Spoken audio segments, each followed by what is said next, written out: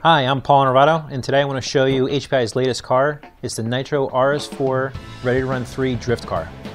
This car is great for someone just starting out.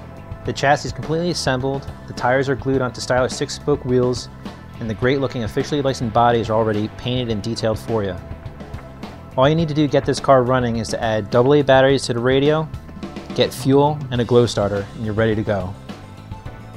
This car is available with two bodies to choose from, the Nissan Silvia that you see here, and there's also a Toyota shell that you can pick. The biggest difference on this car is that the engine is moved forward as well as the gearbox.